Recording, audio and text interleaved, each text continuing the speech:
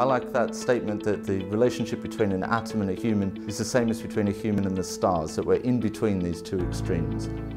What's great about that world is that it turns out it matters how you place these atoms in space. I am Andrew Goodwin. I'm a Professor of Materials Chemistry at the University of Oxford. The theory that tells us about how things are arranged is almost universally predicated on the idea of a pattern that repeats. In a disordered material, we break that repeat, that pattern in some way. If we can create unusual properties by playing around with geometry in interesting ways, what other paradigms can we challenge? And this is where this, this fundamental paradigm of repetition of periodic order seems like a natural one to try and turn on its head you can get completely new properties. So you think of the materials that go into, say, an iPhone that you can control touch sensitive, or materials that show light, or switch between being able to conduct and not conduct electricity, respond to magnetic fields. And we're finding two things. One, we can probably design completely new types of materials that do things we could never expect them to do before. Or alternatively, they're materials that we're already using but don't understand well, and we're starting to unlock the secrets of how those materials do the things that they do.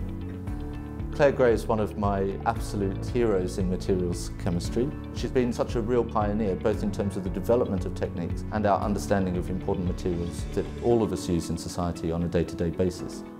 What makes Andrew's work so brilliant and superb is that he's just really pushed the way of looking at these disordered materials. By doing these very careful studies, he can really start to understand some very fundamental chemistry and physics.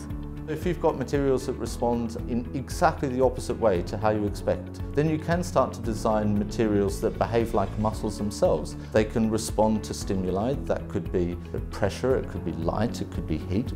These very fundamental discoveries actually have very big real-world ramifications this day and age where there's a real strong push towards overly hyped science actually it's this careful fundamental science that's going to have the long-term impact and I think it's really nice that he's given this award that recognises excellent science. I would love to be able to look back at the end of my career and say that somehow through our work we've managed to change the way that we as materials chemists think about our job. Ultimately how it is that we design materials that transform human existence. And if we can change the rules, hopefully in important ways, that would make me extremely happy and proud.